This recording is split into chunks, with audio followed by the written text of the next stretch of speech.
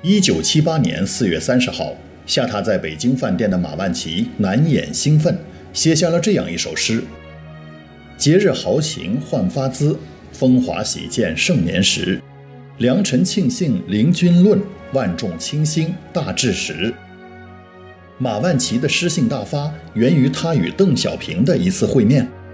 当天，邓小平在北京以国务院副总理的身份接待港澳同胞和海外华侨华人代表。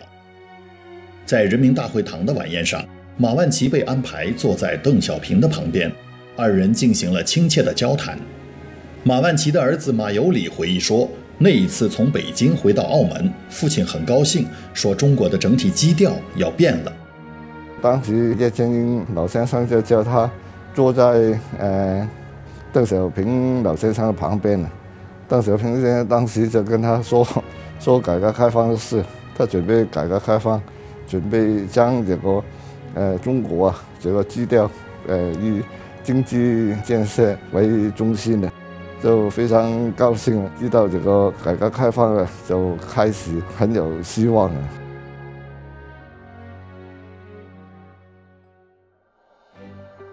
马万祺，一九一九年出生于广东南海县。他曾任中国人民政治协商会议第八届、九届、十届、十一届全国委员会副主席，澳门中华总商会永远会长。早年受日军侵华战争的影响，马万祺来到澳门并再次扎根。其后，他身居澳门，始终心系祖国，对抗战、国家建设发展多有助力。在改革开放初期，马万祺曾多次向中央领导人提议，积极发动侨胞投资祖国，并率先在内地投资兴办实业，充分利用自身在海外华人商界中的声誉，大力对外宣传国家改革开放政策。当时海外对中国的很方面的还不是很了解的，所以他引入很多海外的资本去内地去投资，他本身也投了很多了。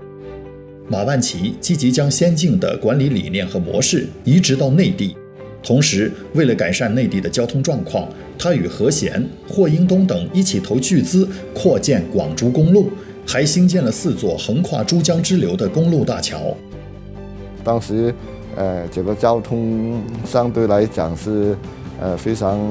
不方便的。他说要搞好这个经济，一定要搞好这个硬件方面。一定要搞好这个呃交通。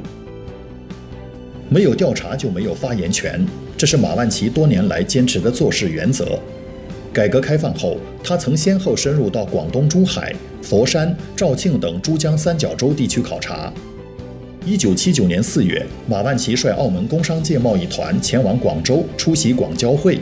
当时的广东省委第一书记、省长习仲勋。和广东省委第二书记、广州市市长杨尚昆向他征询意见，想在临近香港、澳门的地方划出一块土地，设立一个经济出口货物特区。马万祺对此深表赞成。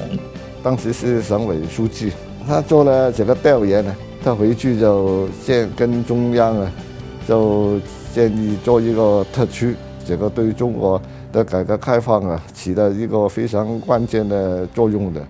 我爸爸呢就。首先呢，在体制改革方面呢，他提出了很多好的建议。在澳门，马万祺长期担任中华总商会会长，积极辅助中小企业，推动澳门产业向高端发展，在澳门商界享有很高声誉，各界人士都十分敬重。一九八七年四月，中葡两国签署澳门问题的联合声明，确认澳门将于一九九九年十二月二十日回归中国。马万祺被推举为澳门特别行政区基本法起草委员会副主任委员。他与各位委员一道，对基本法条文一条条、一句句反复推敲。参与这个基本法的事情呢，我爸爸有几项呢，他提出中央呢，呃，也特别重视。比如说这个驻驻军呢，因为呃回归前呢，澳门的治安很乱的，当时就他说一定要驻军，除了提升这个解放军的形象以外，对于这个呃治安呢也非常有良好的作用。澳门回归祖国后，马万祺曾深情感慨：“国家国家，祖国是国，澳门是家。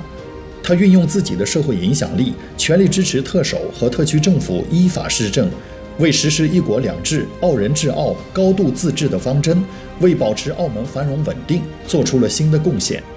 他一直对这个国家都有信心的，跟大家共同来做这些有意有意义、对民族有呃贡献的事情，他感到非常开心的。二零一四年五月二十六日，马万祺因病在北京逝世，享年九十五岁。二零一八年十二月十八日，中共中央、国务院授予一百人改革先锋称号。率先到内地投资的澳门著名企业家和社会活动家的马万祺赫然在列。对于这位一生坚持不懈践行爱国爱澳事业的楷模，这份殊荣实至名归。